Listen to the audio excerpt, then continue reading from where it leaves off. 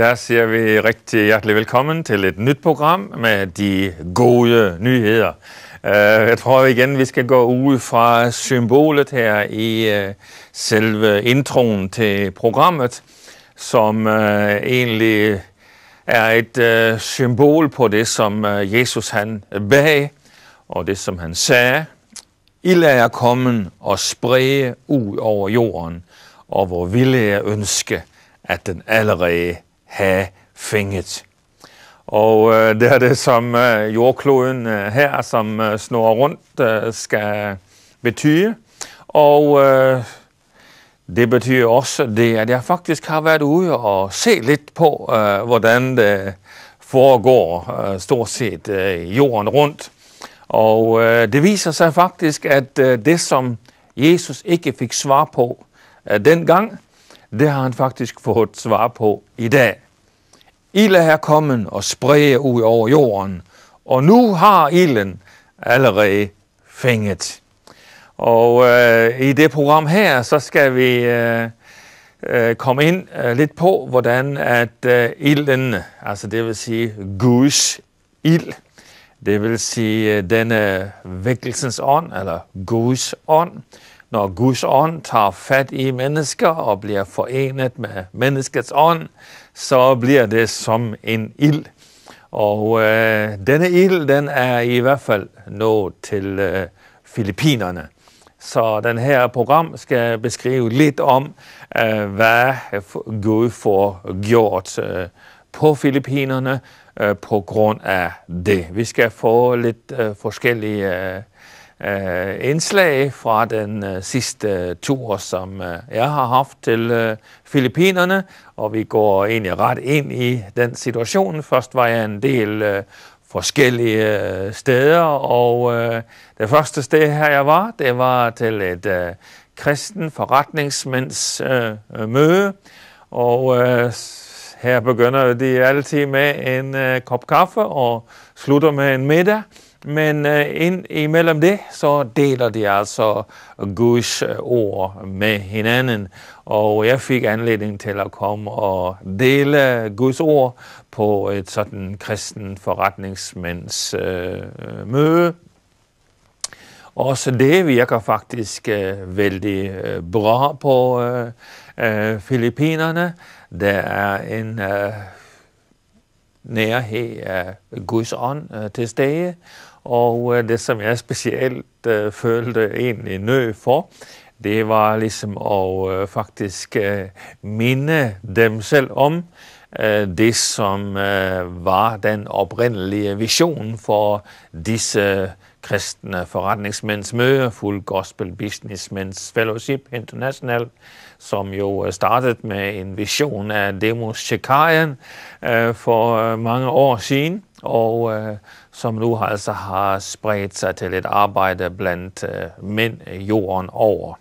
Og øh, et godt eksempel øh, på det, det er, kender jeg fra København i Danmark, hvor de har øh, denne type møder, og øh, de er inviteret ind på et øh, ganske fornemt hotel til en øh, lidt øh, dyr middag, øh, men øh, så inviterer de så til gengæld deres øh, lidt dyre forretningsforbindelser, og øh, på den måde så fik de en anledning til at få forkyndt øh, evangeliet øh, for dem, og faktisk ganske mange fik evangeliet på den måde. Øh, vi kunne vel øh, mindes det skrift, det, som øh, som øh, siger, at blandt jøger vil jeg være som jøge, blandt hæninger som hæninger, blandt forretningsmænd øh, som forretningsmænd, øh, og øh, i det hele taget, at vi møder hver øh, gruppe øh, for sig. Øh, manden vi så øh, ved indledningen her, det er ham, som er leder for den lokale kristne tv-station øh, i byen, som vi skal komme ind på lidt senere. Og øh, efter at vi har været på øh, kristne forretningsmænds øh, møde, så kom vi en del øh, rundt i øh, forskellige typer møder, blandt andet en del forskellige pastorsamlinger, øh, som der for øvrigt var vældig mange af der i byen. Vi skal selvfølgelig bemærke, at øh, Filippinerne er ikke et øh, unået folkeslag. Øh, det er et øh, land, hvor øh, vækkelsen faktisk har gået frem nu her i mange år. Øh, lidt øh, historie, så er det sådan, at Filippinerne var jo Ja, først så var det nær blevet portugisisk, men det blev vel egentlig spansk for mange år og derfor er det præget meget af spansk katolicisme, og øh, der forsøgte Japan jo at tage Filippinerne her under sidste krig, men øh, amerikanerne kom så og fri dem ud. Det vil sige, at øh, Filippinerne er vældig meget præget af øh, amerikansk øh, tilstand.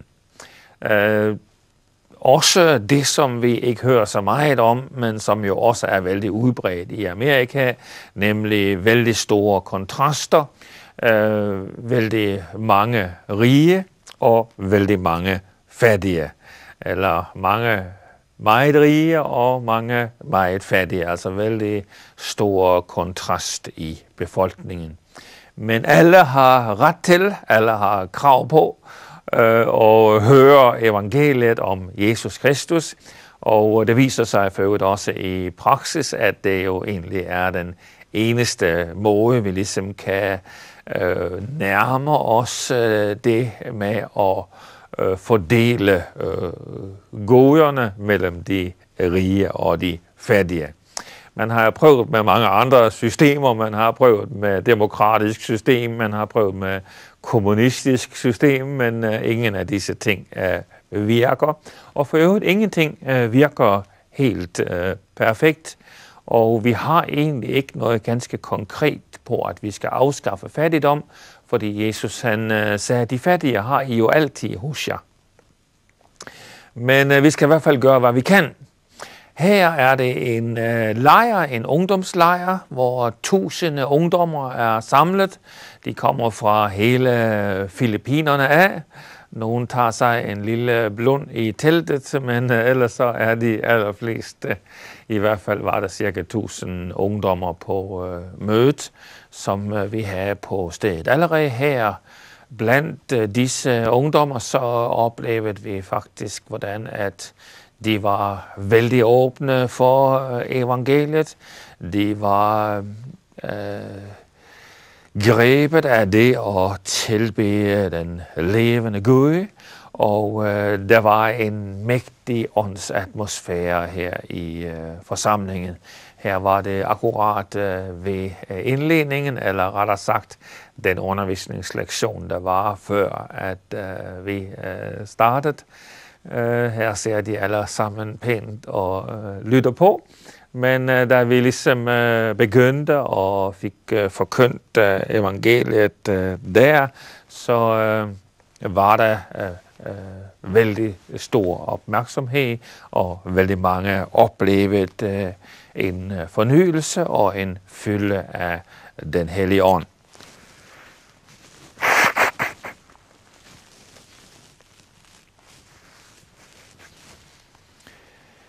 Øh, det her var øh, nok øh, baptisternes øh, lejr. Vi var for øvrigt vældig mye iblandt øh, baptister øh, på øh, denne øh, øh, tur hernede.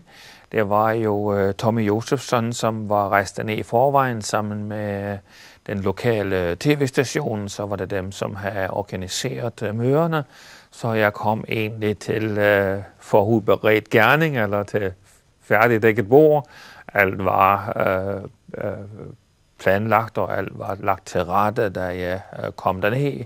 Jeg var der jo kun i knap øh, tre uger. Men øh, vi fik til gengæld øh, komme øh, ganske mye omkring i øh, disse øh, tre uger, og, øh, og øh, både øh, så, hvordan, specielt vel så det der, hvad, hvor, hvad det egentlig vil sige at være øh, vagt op, hvad det vil sige at være i, øh, i, i vækkelse. Øh, vi øh, har jo forskellige øh, skrifter, skriftsteder, der taler om at være vågen og, og være, øh, være ædru og øh, så videre. Og øh, vi kan nok øh, måske øh, ligesom tænke, jamen øh, vi er da vågen. Øh, og øh, egentlig så er der nok en del, der ikke opdager, hvor mye de sover, før at øh, de øh, faktisk bliver vækket op. Og jeg brugte et eksempel, som står i Ezekiels bog, det 47, kapitel 47, vers 1-8, der står der om en flod, der flyr ud fra templet af. Og øh, først så øh, Øh, var der vand som til anklerne, øh, næste etape så var der vand som til knæene, og så var der vand som til hofterne, og til sidst så var der så mye vand, som man var nødt til at svømme i floden, som kom fra templet af. Øh, det, det er muligt, at den har øh, en, øh, det er et fysisk mening med det profeti, så har vi ikke set det endnu, men i hvert fald har det en åndelig betydning. Altså vi har en sådan udgivelse af den hellige ånd i dag, så vi er nødt til at flyve med i, hvad den hellige ånd gør. Her er vi kommet ind på et af menighedsmøderne, og i forbindelse med forkyndelsen her, så kalder jeg nogle ganske få stykker op på platformen og beder for deres helbredelse i Jesu navn. Og vi ser, hvordan at de med glæde tager imod og vidner om øh, deres helbredelse efterpå.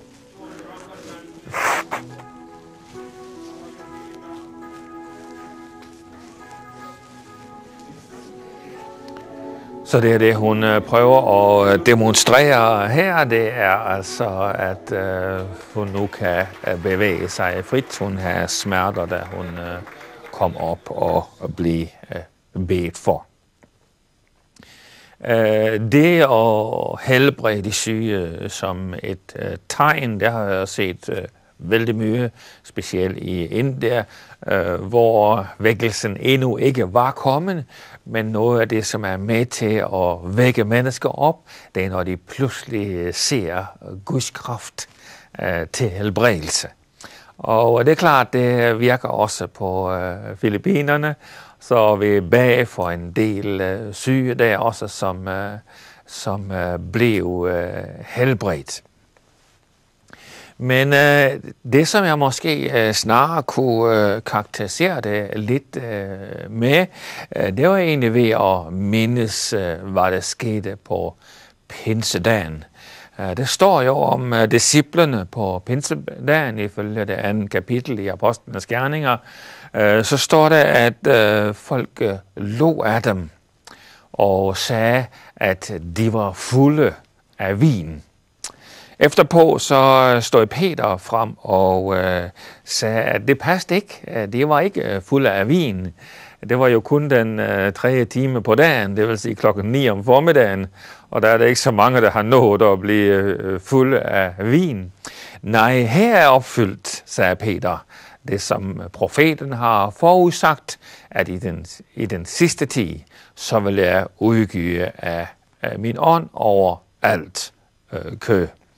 Og den sidste tid, den er jo øh, delt op faktisk i øh, tre perioder, nemlig øh, i tilregnens øh, tid, det vil sige øh, den tid, som vi havde efter pinsedagen, eller fra pinsedagen af, og så øh, derefter.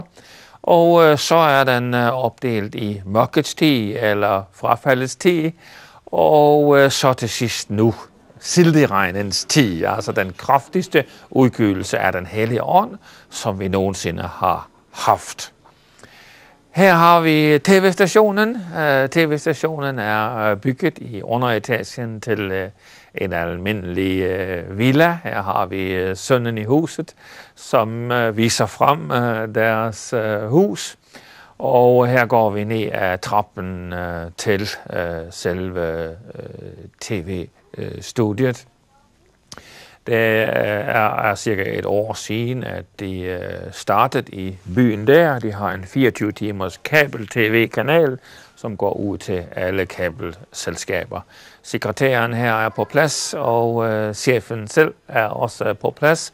Og det er for øvrigt en øh, mand, der kommer for at søge fornyelse og sjælesår. En mand, som faktisk har været frafalden, som kommer bekendte sine sønner på grund af øh, det, som han har set på tv. Her fra dette enkle tv-studie, der går evangeliet ud til alle, der har kabel i byen, øh, 24 timer i øh, døgnet. Egentlig var det jo en øh, herfra, som øh, var med til at bringe inspirationen til øh, Filippinerne, nemlig Frank Ottesen, som byggede op en tv-station i nabobyen hertil, og der så de, hvad han gjorde, og nu har de så altså gået hjem til deres egen by og gjort nøjagtigt det samme. Her er et lille indblik i deres udmærkede tv-studie, som de nu har fået færdigt indrettet med udmærket øh, Super VHS øh, øh, kamera. Og det fungerer vældig bra. Vældig mange har mødt Jesus på grund af det. Og, øh, og, og vældig mange ting er, er sket på grund af den øh, kristne tv-station, der er kommet i byen. Jeg har hørt øh, for nu, at allerede en to-tre byer mere, så har det faktisk øh, de gode rygter spredt sig, og inspirationen har spredt sig, så man faktisk har startet tv-stationen nu i flere byer på samme måde. En vældig enkel måde at, at gøre det på. De fleste programmer får de fra øh, Amerika af, og så sender de dem ud på æderen, og så supplerer de op med øh, lokal information og øh, lokale programmer, sådan at det alligevel kommer til at virke som en lokal øh, tv-station. En vældig øh, god måde at gøre det på. Det er jo øh, med Filippinerne, lige så vel som øh, de skandinaviske lande, der trænges vældig mye information. Øh, der er jo øh, specielt jo der øh, i de katolske lande, så har man hørt Guds navn vældig mye, men man har vældig lite forståelse af, hvad evangeliet det er for noget. Øh, det betyder faktisk, at de er vældig åben for information, så kan man bare få information ud til mennesker, så er der faktisk vældig mange, der virkelig tager imod Jesus som øh, frelser. Og det er jo derfor, at evangeliet har haft en sådan øh, fremgang øh, på øh, Filippinerne. Der er jo flere nye menigheder, som har vokset op og, og, at få milliontals øh, medlemmer i løbet af forholdsvis øh, få år. Og øh, det er, er ganske enkelt, fordi man har været i stand til at få information ud til dem, som i forvejen har søgt Gud. Vældig mange øh, katolikker søger Gud, og det er der for så mange andre mennesker, der gør. Her er jeg tilbage i en øh, faktisk en tidligere baptist øh, menighed, men øh, de har allerede før jeg kom, og så har de taget imod en fornyelse, så når jeg bag, jeg bag egentlig bare om Guds kraft skulle øh, komme over dem, og de det kom, Guds kraft kom over dem på en sådan mægtig måde, så mange af dem blev ligesom slået til jorden under Guds kraft, og øh, fik opleve et mægtigt øh, møde med øh, den hellige ånd. Og det er jo egentlig det, der er så, øh, øh, så afgørende for selvom de tidligere har haft øh, øh forkyndelse, så har det ikke været øh, levende for dem, sådan at de har virkelig været fyldt med den hellige ånd. Vi ser her, hvordan de næsten øh, oplever det samme som på pinsedag, nemlig at blive beruset i den hellige ånd. Når man beder for dem, så ser det ud som om, at, øh, at de øh, næsten øh, bliver øh, beruset, akkurat sådan som øh, som Bibelen faktisk siger, at drik jeg ikke fulde i vin, men øh, drik jeg fulde i den hellige ånd.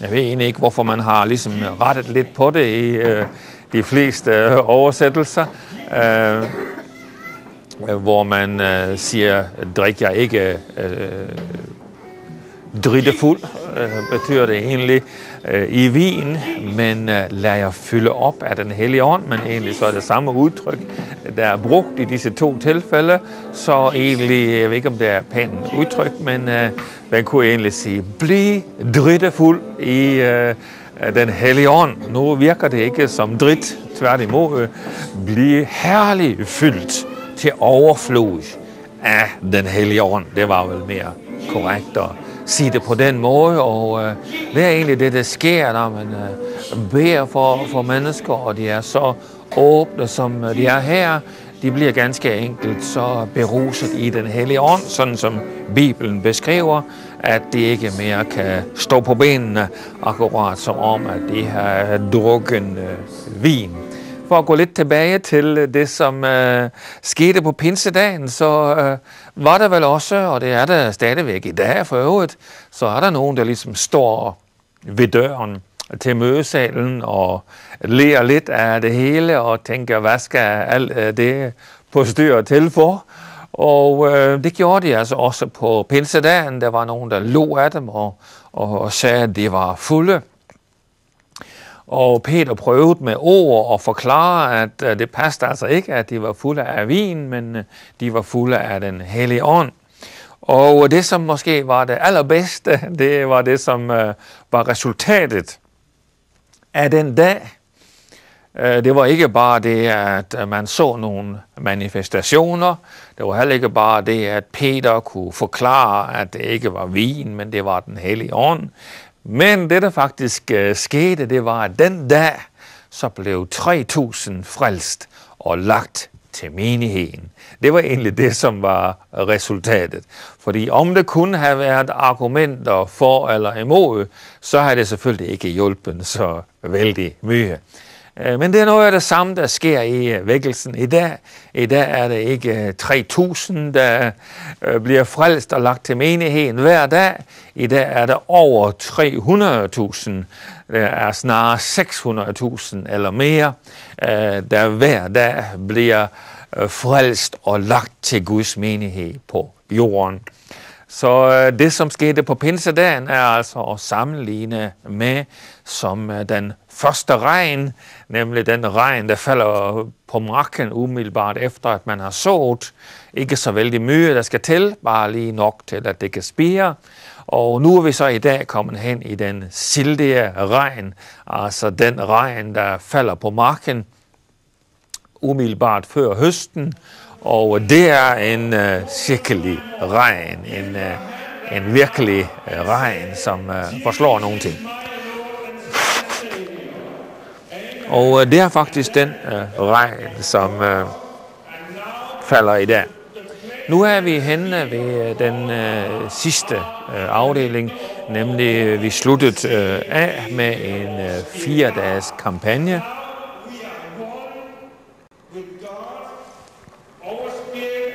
Det var faktisk øh, de folk fra tv-stationen, der har taget ansvaret og lejet øh, lokale annonceret øh, på tv.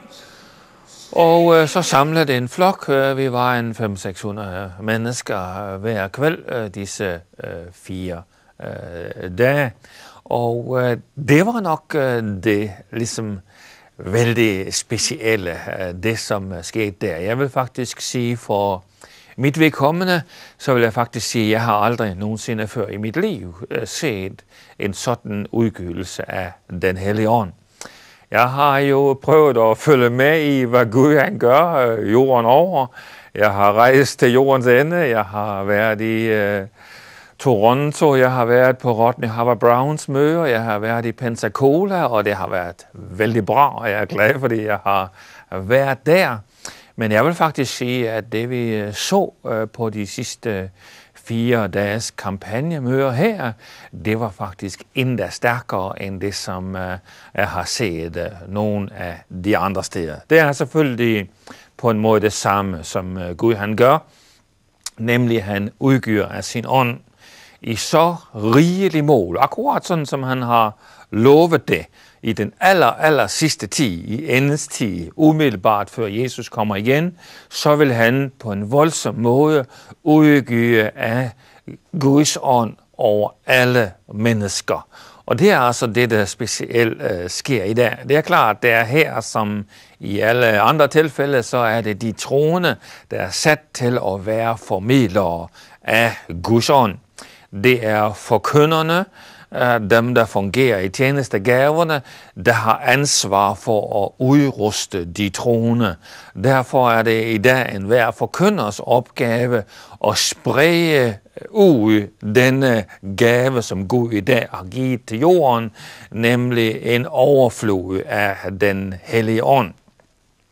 Det var faktisk også noget af det, vi oplevede allerede i menigheden der. Så gør jeg egentlig det, at jeg bag for alle lederne i menigheden, alle gruppeledere, cellegruppeledere, søndagsskolelærer osv. Og da jeg var færdig med det, så gik disse ledere i menigheden ud til resten af menigheden og bag for menighedens medlemmer. Og så blev menighedens medlemmer så opmuntret til dagen efter at gå ud og bede for deres naboer og venner og bekendte. Det er den måde, som øh, Guds ånd øh, må spredes på i dag. Det er den måde, som øh, vi skal få evangeliet ud til verdens ende på i dag. Og det er egentlig den måde, det, det virker på. Og det er egentlig det allerbedste.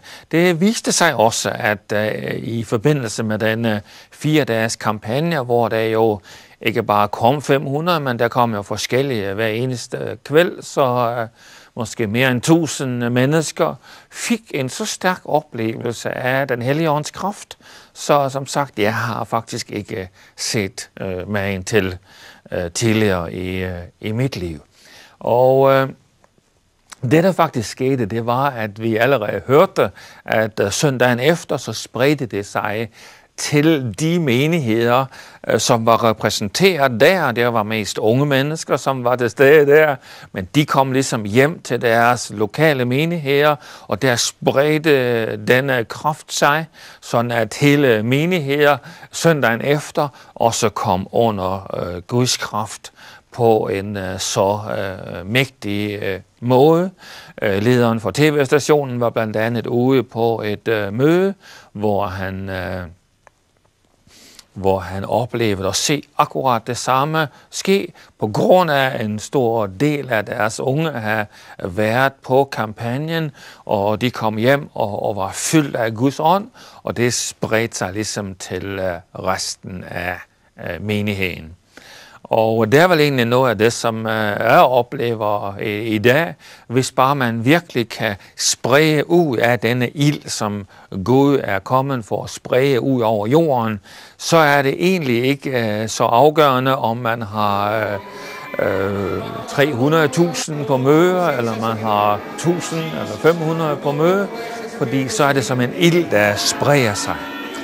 Øh, her er der øh, på øh, et af møderne her, hvor at øh, mennesker kommer frem ligesom for at blive fyldt med den hellige ånd. Her skal vi regne med, at det her var ganske øh, almindelige nominelle kristne, som øh, tilhørte forskellige menigheder i byen. De allerfleste af disse mennesker har aldrig nogensinde øh, været fyldt med den hellige ånd, og vidste altså ikke om pinsedagens oplevelser sådan set, men de kom med stor hunger i deres hjerte og øh, blev øh, fyldt øh, med den hellige ånds kraft. Både når vi øh, lagde hænderne øh, på dem og bag for dem enkeltvis. I øh, mange tilfælde så nåede vi faktisk ikke at komme øh, til øh, det. Men allerede når vi bag fra platformen, så var det hele dele af, af, af dem, som var i salen, som bare kom under Guds kraft og faldt under den hellige ånds kraft, sådan at uh, i flere perioder, så var der mere end halvdelen af forsamlingen, som bare lå under Guds kraft uh, på gulvet uh, på én gang. Og uh, Guds kraft uh, bare uh, virket uh, stærkt. Desværre så skete det det, at uh, vores kamerafører, de kom også under uh, Guds kraft, og uh, de uh, faldt også om øh, på gulvet, og de aller, hvad skal man sige, det aller kraftigste her får vi derfor ikke med på, øh, på billedet, fordi der faldt øh, kameraførerne altså også bort fra, fra kameraerne, øh, men vi skal få lidt øh, flere øh, billeder om det her om, og, om lidt. Og jeg tror, det er vældig vigtigt, at vi ligesom ser, at det virkelig er den tid, som øh, vi lever i i dag. Den tid, hvor Gud har udgivet sin ånd over alt øh, kød. Og hvis ikke det virker sådan i din lokale menighed, så begynd at bede Gud om, at det må komme til at virke sådan. For faktisk, ja, når man tænker på det skrifte, jeg har vældig ofte hørt det skrifte, hvor der står, åh, drik jeg ikke beruset i, i, i, den, i, i, i vin, men, men drik jeg beruset i den hellige ånd, så har jeg mange gange hørt det udlagt sådan, ja, der kan du se, Bibelen siger, at du må ikke drikke vin. Nu siger Bibelen for slet ikke, at du ikke må drikke vin. Øh, den siger, at du må ikke drikke dig dritte fuld i vin, sådan at du har mulighed for at blive afhængig af det. Egentlig så taler Bibelen slet ikke imod vin. Øh, ikke fordi, at jeg vil tale for øh, det heller, for det er kun i den udstrækning, at den enkelte har kontrol over det. Men det, som skriftligt egentlig siger, det er, drik jer fuldstændig fulde i den hellige ånd. Og øh, det er, er det, som, øh, som øh, sker på jorden i dag. Vi kan danse, som det gør her, og vi kan prise Gud, vi kan synge lovsange til Gud, men, men det, som egentlig er det vigtigste, det er, at vi virkelig har den tørst, kan man faktisk kalde det. Uh, jeg vil næsten sige det på den måde. Det kan, det kan faktisk komme til at fungere på samme måde. På samme måde som alkoholikeren har en desperat tørst efter alkohol. Øh, på samme måde så er det faktisk muligt at have en, en desperat hunger efter at blive fyldt med Guds ånd. Og det er denne hunger, der ligesom udløser det. Jeg har jo tidligere arbejdet med alkoholikere, jeg ved, hvordan det er. Jeg husker en gang, hvor vi havde en alkoholiker, så var der sket et uheld. Vi havde fået sådan en hel øh, køkken og alt, hvad der var i et køkken fra en anden person. Og så har vi bare sat det ind i køkkenet, uden at se nøje efter. Så mellem alle softflaskerne i køkkenet, så var der kommet en vinflaske ind. Vi har ikke set det. Men pludselig så får den her øh, alkoholiker, han får øje på vinflasken, eller jeg ved slet ikke, om han ser den, men noget inde i ham i hvert fald ser den her vinflaske, og der ser jeg hans desperation. Hans desperation efter at få fat i den. Det var en lille bitte tynd mand, så i det naturlige, så skulle jeg nemt kunne holde ham. Men øh, vi måtte faktisk en 3-4 personer til at holde ham, for at han ikke skulle få fat i den her vinflaske. Og øh, sådan er det egentlig også. Øh, specielt vi, som har smagt af Guds ånd øh, tidligere. Vi kan blive så desperat efter at blive mættet, efter at, at få tørsten mættet, efter at blive fyldt igen med den hellige ånd, så det faktisk akkurat virker som om, at vi er afhængige af at øh, blive fyldt med den hellige ånd. Og det er denne afhængighed af Gud, der egentlig gør, at Gud kan komme til at fylde os op med den hellige ånd. Så øh, hvis vi har denne hunger, ja, så kan vi faktisk tage imod denne hellige kraft. Vi skal, vi skal få lidt øh, flere øh, billeder her. Og øh, det er jo øh, mærkeligt, kan man sige. nogen de øh, viser frem øh, forkyndelsen øh, fra et møde, og forkyndelsen er selvfølgelig vældig vigtigt. Guds ord er vældig betydningsfuldt. Men egentlig så skulle et møde være noget, som kræver en forklaring. Altså det vil sige, at det, der sker på mødet, det skulle være noget, der kræver en forklaring. Så jeg skal prøve at forklare nu nogle ganske få minutter, øh, hvad det egentlig er, der sker på mødet. Det er Tommy Josefsson, der er med mig øh, her, sammen med lederen fra tv-stationen, og, og øh, vi arbejder ligesom sammen her i eftermødet, efter at der har været frelsesindbydelse, efter at der har været forkyndelse, og, og, og øh, efter at vi har talt Guds ord. Men øh, her virker det som øh, øh, på en vældig øh, stærk øh, måde. Som sagt, det her er kun øh, begyndelsen. Senere hen, så øh, bliver det hele forsamlingen, som øh, falder under Guds kraft. Nogen øh, begynder at lære, som øh, vi ser her, og kan næsten ikke stoppe igen. Andre gråter næsten øh, ubærsket, kan man sige. Og, og øh, andre bare bliver beruset i den hellige ånd og falder omkring. Øh, nogle gange så falder de bare en hel flok af gangen. Andre gange har vi tid til at tage imod dem øh, en øh, for en.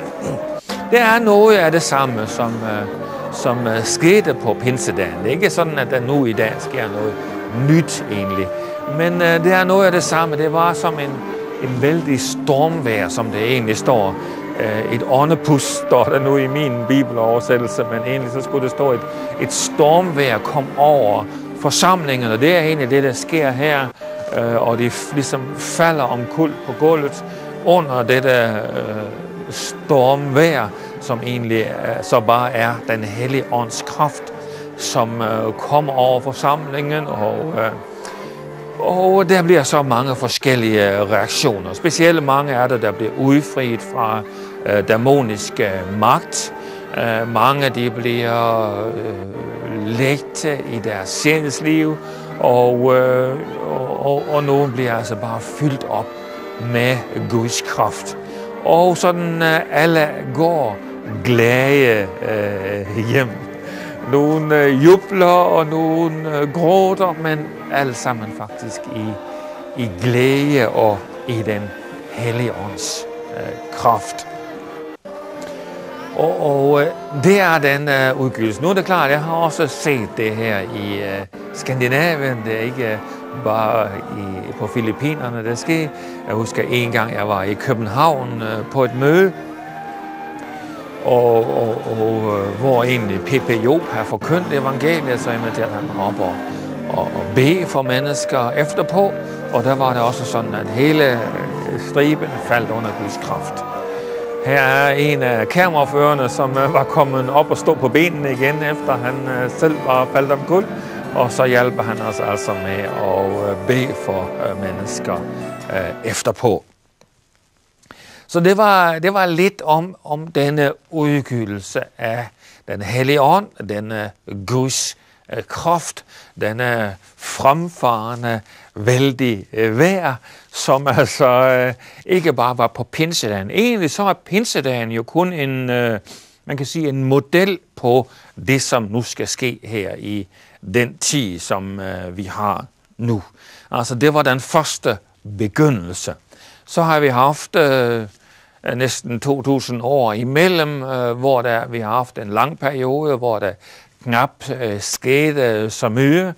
Så begyndte det ved starten af det her århundrede, på en øh, lidt øh, kraftigere måde øh, begyndte Guds ånd at manifestere sig, og det har så altså taget til, og, og specielt her de sidste øh, 10 år, så er det på en øh, speciel måde, at Gud han udgiver af sin ånd over alt kød.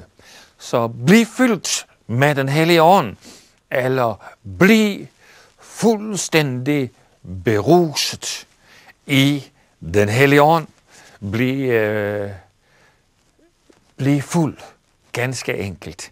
Det er det, som øh, Bibelen anbefaler os. Og der er det også sådan, at det står, at vi skal iklæde os Guds fulde rustning, sådan at vi kan holde stand på den onde dag.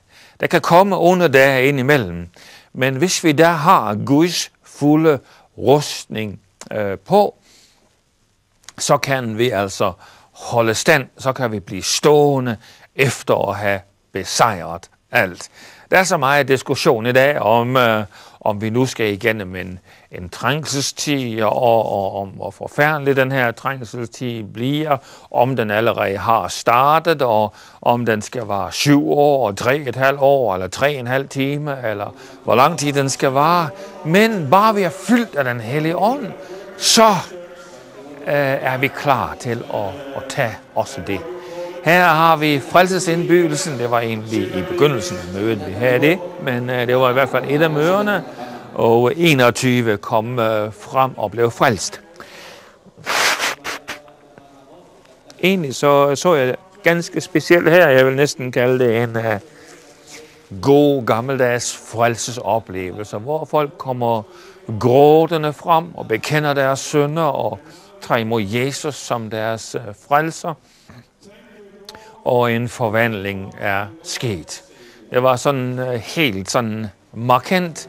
Mennesker, der aldrig har fået sin sag i orden med Gud, øh, bekendte det offentligt foran 500-600 mennesker, var de villige til at stå frem og sige, ja, jeg vil følge Herren. Og det er egentlig det, som jo selvfølgelig alting det drejer sig om så skulle du ske være i den situation akkurat nu, at du ikke ved, om din sag er ret med Gud, så tag denne beslutning nu, at du vil have Jesus som din herre og din frelser. Så er han faktisk nær ved dig akkurat nu. For Bibelen siger, at hver som påkalder Herrens navn, skal blive frelst. Så hvis du akkurat nu i dette øjeblik vil påkalde Jesu navn, så skal også du blive frelst. Bekend din søn inden for Jesus, og sig til ham akkurat det er, og tro, at Jesus Kristus er Guds søn. Det betyder egentlig, at du tror på, at Gud han sendte Jesus til verden for at tage bort den forbandelse, der var over mennesker, nemlig at enhver, der syndede, han skulle dø. Derfor døde Jesus i stedet for dig og mig. Sådan at når vi tror på det forsonende værk, som Jesus han fuldførte på Golgata kors, derfor står der, at når vi tror på Jesus, så skal vi ikke fordømmes, men så skal vi have evigt liv til således elske Gud verden, at han gav sin søn den enborne, for at enhver, som tror på ham, ikke skal fortabes, men have evigt liv. Jeg vil altså sige, tror på dette forsonende værk, tror på tilgivelse for dine sønner, og ved med sikkerhed, at dit navn er indskrevet i livets bog i himlen. Og det er det konkrete, som du kan opleve allerede nu. Tag imod Jesus som din frelser. Og den næste anbefaling, jeg har til dig akkurat nu, det er, bliv fyldt med den hellige ånd. Eller bliv herligt fyldt og til overflod med den hellige ånd. Det er også noget, der sker gennem tv. Jeg husker en gang i Oslo, Øh, så var der en, der ringede ind øh, efter en udsendelse, hvor jeg specielt havde bedt over tv, og så sagde hun det på den måde, at øh, der er bag, er bag øh, specielt om helbredelse, øh, men øh, der er bag denne bøn, så kom Guds kraft over hende på en så kraftig måde, så hun faktisk faldt omkuld på gulvet foran sit tv-apparat. Og der lå hun faktisk beruset af den hellige ånd i en og en halv time. Og da hun rejste sig op igen efter en og en halv time, så var hun helbredt. Hun holdt nemlig på at dø på grund af hjertesvigt, men hun blev helbredt. Hun kunne løbe omkring og hun øh, kunne gå rundt og bede for andre. Og mange andre blev helbredt på grund af hendes forbøn. Altså bare på grund af, at hun tog imod Guds kraft gennem tv. Og det er faktisk det, der sker på jorden i dag. Jeg har tidligere i programmer fortalt om, hvordan jeg har bedt for hver enkelt person. Jeg har bedt for tusindvis, vis har jeg lagt mine hænder på. Og det står, at vi skal gå ud i alverden, og vi skal lægge hænder på de syge, og de syge skal blive helbredt. Jeg har gjort det i 10.000 vis af tilfælde, så har jeg lagt hænder på de syge og alle, der trængte til øh, forbøn, alle, der trængte til Guds kraft. Men det, som vi specielt ser i dag, det er, at Guds ånd kommer over mennesker på en så kraftig måde, så vi kan bare række hænderne ud imod dem. Vi når ikke engang at komme frem til dem og få lagt hænderne på dem. Og det er på den måde, derfor også her på turen nu til Filippinerne, masservis af mennesker lå bare under Guds kraft og blev helbredt for deres sygdomme, både fysiske sygdomme, psykiske sygdomme, og dæmonbesatte blev sat fri, bare på grund af, at øh, Guds ånd manifesterede sig, ikke på grund af, at vi fik tid til at lægge hænder på hver enkelt. Det gjorde vi, så mange vi nu kunne nå. Men ellers så bare rakte hånden ud fra platformen af, ud over forsamlingen, så kom Guds kraft over dem, og de oplevede denne Guds kraft til forvandling. Det er sket mange andre steder. Det er sket blandt andet i Toronto, hvor de vidner om, at, at uh,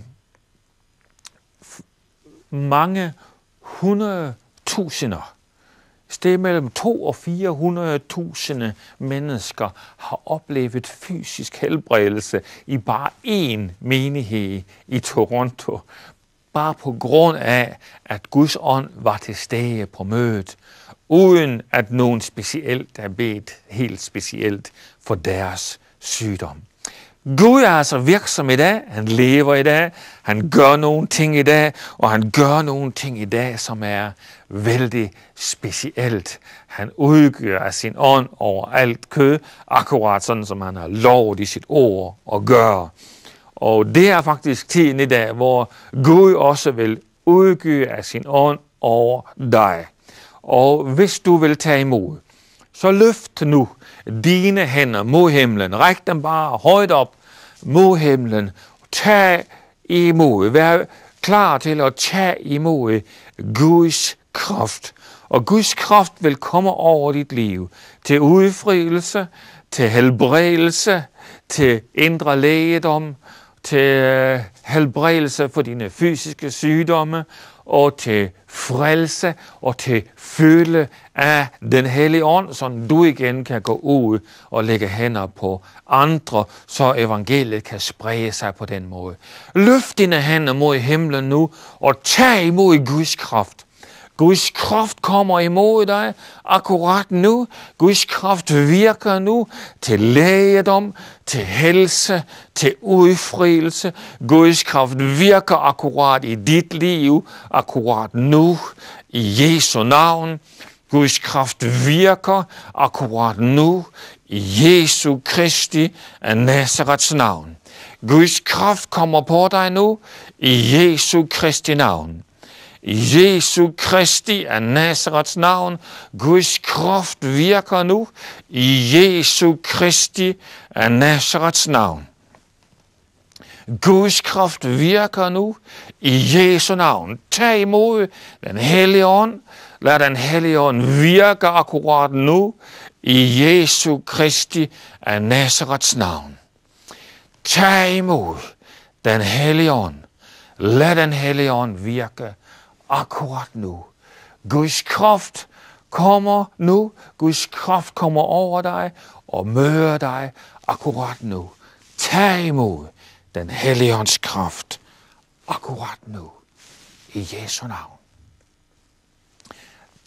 Drik nu af den hellige kraft, og når det her program er slut, så tag en stund nu, hvor du bare løfter dine hænder til himlen og siger, Gud, jeg tørster, Fyld mig med den hellige ånd. Så skal du opleve, at du bliver fyldt med den hellige. En af tegnene på det er jo også, at du taler i nye tunger, akkurat som på pinsedagen. Men drik af den hellige ånd, tag imod den hellige ånd, lad den hellige ånd virke i dit liv akkurat i dag. Så tag en stund nu her efter mødet, løft dine hænder, pris og tak Gud, og sig, Gud, jeg tørster, fyld mig med den hellige ånd, så det flyr over fra mit liv af, fra mit indre, skal det, som skriften har sagt, rinde strømme af levende vand. Gud velsigne dig i din overflod af Guds ånd. Tak for nu og på gensyn.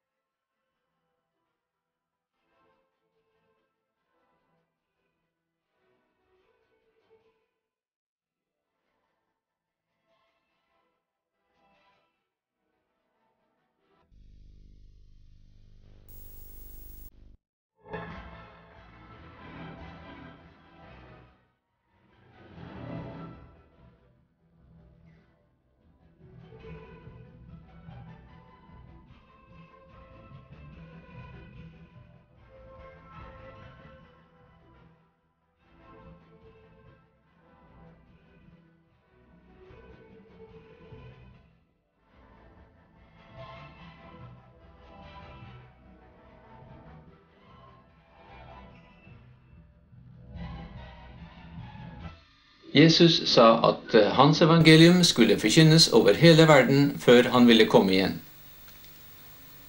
Erling Ilse Nilsen gjør sin del for å evangelisere verden. Med evangeliske mirakelkampanjer utover hele India samt Pakistan, Sri Lanka, Nepal, Bangladesh, Burma, Filippinerne, Kina, Dubai og Kuwait samt sender ut evangeliet over TV på skandinavisk og engelsk. Han trenger din hjelp til å evangelisere verden med kampanjer og TV. Din engangsgave eller regelmessige givertjeneste kan ha avgjørende betydning for å få forkynt evangeliet. Hvis du ikke allerede er en partner, start i dag. Send inn din gave til Erling Ilsø Nilsens evangeliske tjeneste